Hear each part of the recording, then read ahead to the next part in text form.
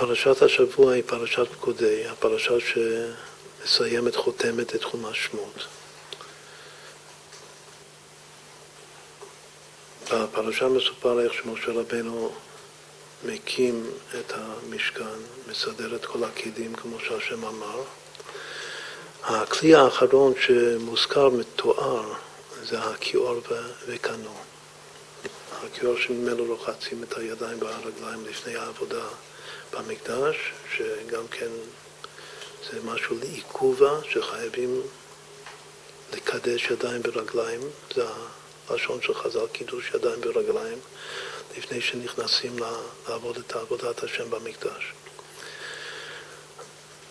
כאן יש פסוק, פסוק מיוחד שאומר ורחצו ממנו משה ואהרון ובניו את ידיהם ואת רגליהם. הפסוק המקביל בפרשת כי תישא, שם נצטוו לעשות את הכיור וקנו. שם כתוב ורחצו אהרון ובניו ממנו את ידיהם ואת רגליהם. אבל כאן כתוב לא רק אהרון ובניו, כאן כתוב משה. כתוב ורחצו ממנו משה ואהרון ובניו את ידיהם ואת רגליהם. אז מה, למה משה? שם לא כתוב משה. אז רש"י מביא שמדובר כאן ביום השמיני למילואים, שכולם, גם משה וגם אהרון ובניו, כולם הושבו לעבודת הקודש במקדש, ולכן כולם היו צריכים לקדש ידיים ורגליים מהכיור. עכשיו חז"ל בגמרא לומדים מזה עוד משהו. לומדים שכל כיור שאין בו כדי לקדש ארבעה כהנים, לא מקדשים בו. בתוך הכיור צריך להיות מספיק מים כדי לקדש ארבעה כהנים. מי זה ארבעה כהנים? אז חז"ל אומרים שארבעה כהנים זה משה ואהרון, אלעזר ואיתמר. ולומדים את זה מהפסוק הזה, שכתוב ולחצו ממנו משה ואהרון ובניו. מי זה בניו? אלעזר ואיתמר.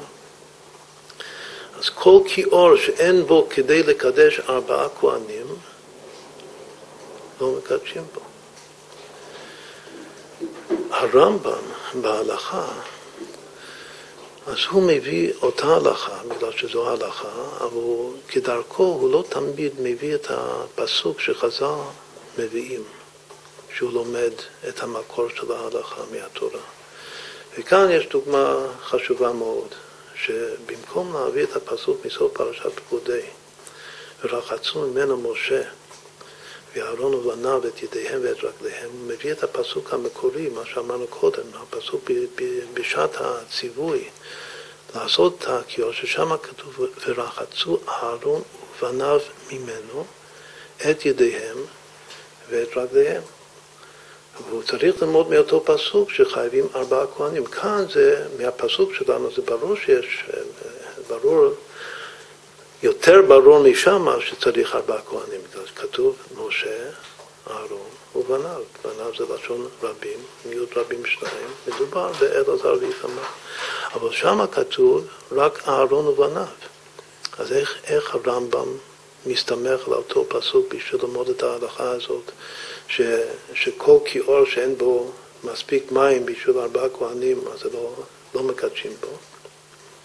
אז הוא כותב בפירוש בהלכה שהכוונה אהרון, אלעזר, איתמר ופנחס. פנחס בן, אלו הארבעה כהנים. שפנחס, היות שהוא בן בנו של אהרון, בני בנים הרי הם כבנים, לכן הוא כולל את פנחס ולומד שאלו הארבעה שמהם לומדים את ההלכה הזאת, שצריך להיות מספיק מים בכיור כדי לקדש ארבעה כהנים. אז חוץ מזה שזה קצת פילי, אבל גם אפשר להבין את הרמב"ם. הוא לא רוצה להביא פסוק שזה רק מדובר יום אחד מסוים. הרי לפי רש"י, הפסוק שלנו בסוף פקודי זה רק שמיני למילואים, שיש שם גם משה, משה ואהרון לבנה. ואילו הרמב"ם רוצה להביא פסוק כללי, שהפסוק הכללי זה הפסוק בשעת הציווי, שכתוב שם אהרון ובניו. בכל אופן, זה שהוא צריך להוסיף את פנחס זה קצת, קצת קשה. וגם כן זה שכאילו מפסידים את משה רבנו בפנימיות העניין, שרוצים להבין את זה בפנימיות, אז חבל, חבל לי, חבל לנו להוציא את משה מה, מהסיפור הזה. ושוב, חז"ל בפירוש לומדים את זה מכאן, שזה משה, אהרון, אלעזר איתמר. עכשיו, יש שואלים, מה, מה לגבי נדב ואביהו, שני הבנים הגדולים? הרי בשעת מעשה זה לפני שמתו. באמת מתו באותו יום, שמיני למילואים, שזה ראש חודש ניסן, לפי רוב הדעות. אבל למה לא לכלול אותם לפני שבציווי לפני שמתו? אז יש אחד, אפשר לומר באמת היות שהם מתו באותו יום, ולא לערבב את האבל עם, ה, עם השמחה, ובכלל הם לא היו קיימים, אז אם לומדים כמו הרמב"ם מהפסוק המקורי, אז זה צריך להיות משהו שנוהג לתמיד. ומה שאז, לפחות באותו דור, נהג תמיד, זה היה אהרון, אלעזר, איתמר ופנחס. אבל יש אחד, ש... יש פירוש אחד שהוא מפרש דבר יפה, שבמדרש יש דעה אחת שנדב ואביהו בעצמם נתחייבו מיתה בגלל שלא רחצו ידיהם ורגליהם. שלא קיימו את המצווה של קידוש ידיים ורגליים לפני הכניסה לקודש, ובגלל החטא הזה הם מתו. אז לפי המדרש הזה זה פשוט מאוד. למה לא קולדים אותם? בגלל שהם לא, לא קיימו את המצווה. כנראה שהם חשבו, דימו לעצמם, שהמקדש זה כמו דין של במת יחיד, שכתוב שבמת יחיד, מה שנהג לפני בית המקדש, אז לא צריך קידוש ידיים ורגליים. אז כנראה שההתייחסות הפנימית, יש לומר שעל פי ההלכה סברו ככה, בגלל שידעו שיש פה מצווה ורחצו, כתוב בתורה. אבל בלב הרגישו כל כך במת יחיד עם ה, כאילו הקשר, היחס עם הקודש ברוך הוא בעבודה, כאילו הזיקה האישית שוויתרו על, ה, על המצווה של קידוש ידיים ורגליים. זה הסבר או נאמר וורט אחד. אבל נתבונן קצת יותר לעומק. זה שחז"ל לומדים שצריך להיות מספיק מים בשביל לקדש ארבעה כהנים, ולומדים את זה ממשה, אהרון, אלעזר ואיתמר. אז ודאי יש דברים בגו, כמו שאמרנו קודם, שקשה לנו לוותר על משה רבנו כאן. משה אהרון זה י"ק של שם השם, זה חוכמה ובינה. אלעזר ואיתמר זה ו"ק. כל עוד שהיו כל ארבעת הבנים של אהרון, נדב, אביהו, אלעזר, איתמר, אז הם בעצמם היוו י"ק ו"ק בשלמות. נדב ואביהו הם רצו, הם שאפו לקחת את המקום של, של משה ואהרון. מתי ימותו הזקנים האלה ואנחנו ננהיג את העם במקומם? למה? בגלל שבאמת בפנימיות נדב ואביהו הם, הם, בדור הבא, הם הבחינה של משה ואהרון. נדב הוא בחינת משה, ואביהו, אבא שלי, הוא, הוא בחינת אהרון, באמת האבא שלו. לכן, או משה ואהרון, יש משהו בפנימי שזה או משה ואהרון, או שזה נדב ואביהו. אז אם משה ואהרון נשארים, באמת נדב ואביהו יוצאים. ומה שנשאר זה משה, אהרון, אלעזר ואיתמר, י"ק ו"ק. עכשיו, יש גם כן רמז מאוד מאוד יפהפה לזה, שעושים את החשבון של ארבעה כהנים האלה שחז"ל מציינים, שצריך להיות מספיק מים בשביל לקדש את כל הארבע. אז זה יוצא 60 פעמים הוויה. משה, אהרון, אלעזר, איתמר, זה 1560, 60 פעמים הוויה, 10 פעמים יוסף, 10 פעמים אוהל מועד, אוהל מועד שווה יוסף, אז זה מספר מאוד מאוד uh, מצוין. אם באמת כוללים את כל שבעת הכהנים שהזכרנו, בגלל שיש גם נדב ואביהו, הן נשמות קדושות, עליונות מאוד מאוד, ויש גם את פנחס. אז מכל השבע, זה כבר שביעייה, זה משהו, יחידה מושלמת. אם כי שלא לומדים שצריך שבע, מספיק מים לשבעה כהנים, רק ארבעה כהנים, אבל תוך כדי הדיון אנחנו הזכרנו כאן שבעה כהנים. מה קורה כשאני מחבר את כולם ביחד? אני מקבל ריבוע, ריבוע זה סימן של שלמות. מקבל 43 בריבוע. אפילו השלושה שהוצאתי מהשבעה כדי להישאר בארבע, שזה נדב אביהו ופנחס, אביהו בפני עצמו זה ריבוע. חמש בריבוע. נדב פלוס אביהו זה 81, זה שוב ריבוע, זה תשע בריבוע. כשאני מוסיף להם את פנחס, בקבלה כתוב שפנחס ירש את הנשמות שלהם.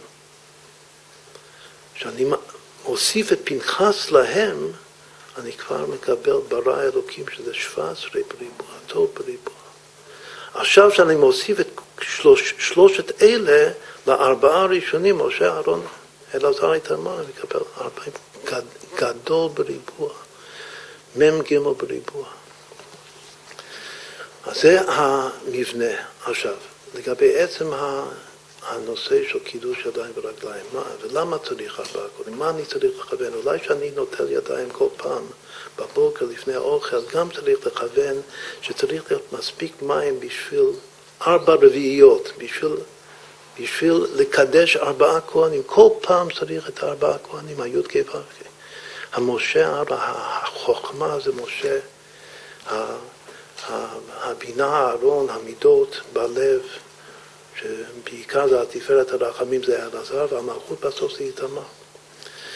מה זה קידוש ידיים ורגליים? אנחנו באמת רק אה, מקדשים או מטהרים את הידיים, אבל כאן הביטוי זה קידוש ידיים ורגליים. קידוש זה מים, מים זה ביטול. צריך להמשיך ביטול לידיים, שזה המידות בלב, והרגליים, שזה המעשה המוטבע שבנפש. והרגליים, ההליכה, זה נקרא המוטבע, הנצח עוד יסוד. המעשה הוא העיקר. הידיים, הרגש. צריך ביחד להמשיך ביטול שזה מים, ביטול זה גם מוחין דאבא. זה מוחין דאבא, צריך להמשיך את זה לידיים ולרגליים ביחד. יש גם גמרתי מאוד יפה. בשני הפסוקים כתוב את ידיהם ואת רגליהם. זה הלשון המשותף. את ידיהם ואת רגליהם שווה עץ החיים, עץ הדעת טוב ורע. ידוע שעץ הדעת טוב ורע הוא ארבע פעמים עץ החיים. כלומר שהמספר שהוא 1165 הוא חמש פעמים עץ החיים, שהוא בעצם עץ החיים פלוס עץ הדעת טוב ורע. מה זה אומר? כתוב שהידיים, שמקדשים את הידיים, עושים תיקון של עץ החיים. עץ החיים זה שהאדם אין לו שום מודעות עצמית.